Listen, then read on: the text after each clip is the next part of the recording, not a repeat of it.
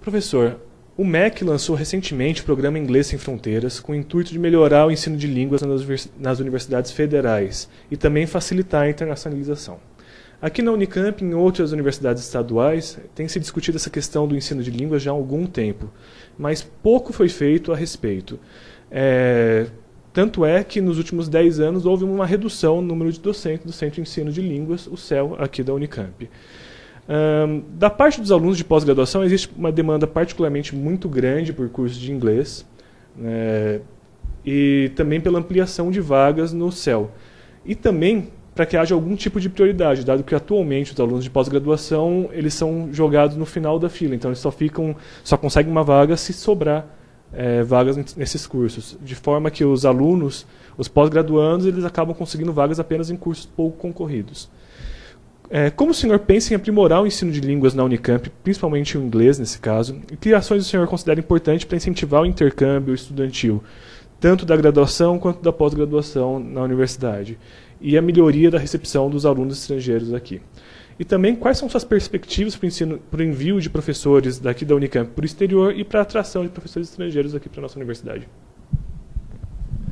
Mais uma vez, eu acho que a questão que você coloca para nós discutirmos volta-se para um conteúdo filosófico de novo. Quer dizer, quando nós temos que nos relacionar com o mundo que nos rodeia, seja o mundo mais imediato que é a nossa cidade, seja o nosso estado, o nosso país e eh, o mundo no sentido mais amplo do termo, nós temos que pensar o que, que nós pretendemos com isso. Quer dizer, que, que sinalização, o que é que você espera que uma universidade como a nossa possa acolher de, de, de, de, coisas boas que todo esse mundo nos oferece e, principalmente, o que nós podemos oferecer para esse mundo. Para esse mundo tão carente, tão necessitado de conhecimentos, de cultura e de ciência para resolver macro problemas de ordem nacional e internacional. Portanto, em primeiro lugar, o programa de internacionalização que nós estamos levando a cabo, baseado no produtivismo, que vem daquela crítica que eu fiz ao sistema de avaliação, é um, é um é um programa de internacionalização que quer fazer com que a Unicamp apareça em rankings internacional. E isso eu acho um equívoco muito grande. Nós não podemos ter uma visão de internacionalização que tenha essa microescala como horizonte. Eu acho que a Unicamp sempre foi, e isso carece hoje da visão estratégica dessa universidade, nós perdemos a capacidade de sermos protagonistas das grandes políticas públicas, de uma ação de intervenção nos debates mais importantes da política nacional, e nossa presença hoje é acanhada, minúscula e, para não dizer, medíocre. Eu acho que nós temos que retomar esse projeto que fez a origem da universidade, pensar não só no dia de hoje e do amanhã, mas num futuro distante. E o futuro distante é pensar a internacionalização de um mundo que carece de conhecimento, de cultura e de ciência e que nós podemos oferecer. o, Brasil é, uma, é um país que hoje, pela macro dimensão dos seus problemas, já adquiriu experiência para lidar com grandes problemas que hoje estão sendo vividos no primeiro mundo.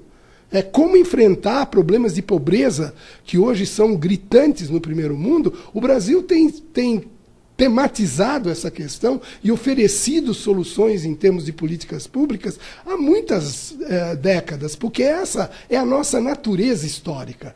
Portanto, internacionalizar significa entrar em parceria, em colaboração, primeiro com aqueles, eh, com, com quem precisa da gente sem, sem desconsiderar que nós temos que fazer grandes acordos e grandes projetos colaborativos com as melhores universidades do mundo. Mas a Unicamp tem que estar em outros lugares do mundo hoje.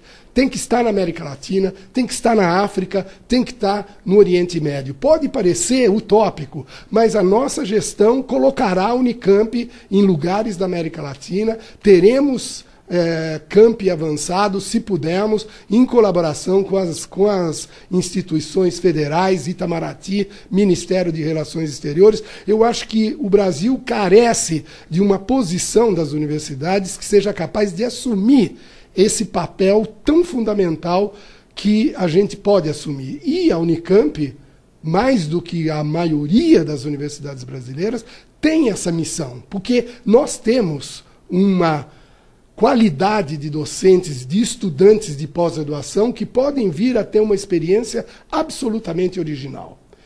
O que você pergunta também é com relação ao ensino de língua estrangeira. Eu acho que não seria só o inglês. Eu acho que nós temos que ter, perante o mundo, duas, duas, é, dois posicionamentos. Primeiro, defesa da nossa língua.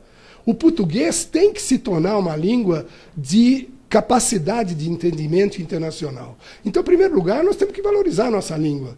É, em segundo lugar, defender o multilinguismo, já que a gente defende a multiplicidade étnica, a multiplicidade, a, a diversidade cultural, por que só o privilégio da língua inglesa? A, a língua inglesa é um veículo importante de comunicação hoje no, na esfera científica e cultural, sem dúvida. Temos que ter programas com ela, temos, mas a gente tem que defender o multiculturalismo e o multilinguismo. Para isso, o que você tem que fazer? Você tem que criar um programa emergencial de ensino de línguas na Unicamp. Tem que mudar o sistema de, de currículo do CEL, por exemplo. Eu vou dizer, enquanto eu estava na pró-reitoria de graduação, eu até, nós havíamos encaminhado é, discussões para que os cursos de língua inglesa e outras línguas não fosse pelo calendário da, da, da graduação, que são esses calendários rígidos, mas pudessem ser oferecidos durante todo o ano, na base de dois a três meses por ciclo, que percorresse todo o período letivo, em que os alunos pudessem ter aula de janeiro a março, por exemplo, fazer um curso de aprimoramento, porque ele tem que viajar para o exterior no mês de abril. Quer dizer, nós temos que abrir a, a, a possibilidade dentro da universidade, se nós queremos ser um parceiro de, de, padrão internacional com todas as universidades e todos os povos do mundo, nós temos que nos preparar para isso. Portanto, você tem que ter uma política estratégica. Nós vamos ter que gastar dinheiro nesse programa. E é importante que a gente consuma recursos dessa natureza para isso. É muito melhor do que prédio, fazendas. É, do, é, é melhor investir nisso, porque isso vai abrir a universidade para o mundo.